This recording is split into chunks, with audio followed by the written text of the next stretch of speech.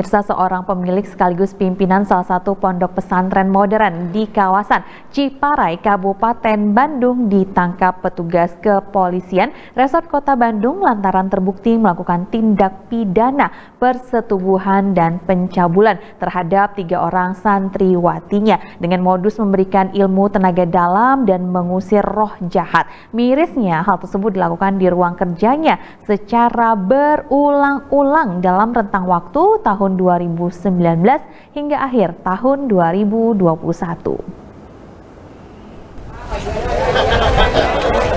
Setelah melakukan serangkaian penyelidikan terkait adanya laporan tindak pidana persetubuhan dan pencabulan terhadap tiga orang santriwati di salah satu pondok pesantren modern di kawasan Ciparai, Kabupaten Bandung, beberapa waktu lalu, petugas kepolisian dari Satreskrim Polresta Bandung akhirnya menangkap pria berinisial H, 39 tahun, dan menetapkannya sebagai tersangka.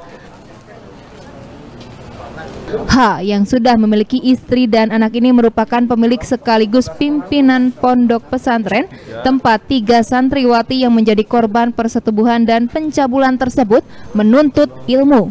Ketiga korban yang merupakan anak didiknya tersebut berusia 17, 15, dan 14 tahun.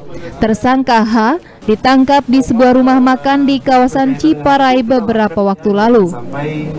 Menurut Kapolresta Bandung Kombes Pol Kusworo Wibowo, modus yang digunakan tersangka dalam melancarkan aksinya yakni memanggil para korban secara bergantian ke ruang kerjanya dan berpura-pura akan memberikan tenaga dalam serta mengusir roh jahat yang ada di dalam tubuh para korban.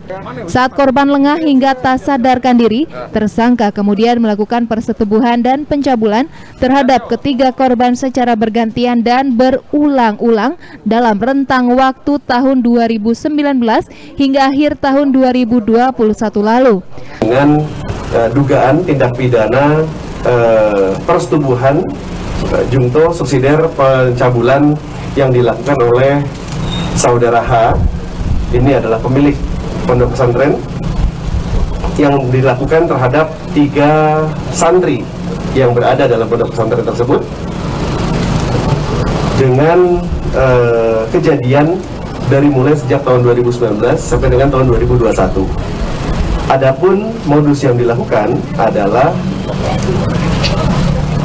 mengisi dengan uh, mengisi tenaga dalam ya dalih untuk mengisi tenaga dalam kemudian uh, yang bersangkutan para korban memijat si pemilik pondok pesantren ini kemudian berbalik si pemilik pondok pesantren ini melakukan pijatan-pijatan kepada uh, para korban yang berlanjut sampai dengan perbuatan-perbuatan yang tidak senonoh tersebut.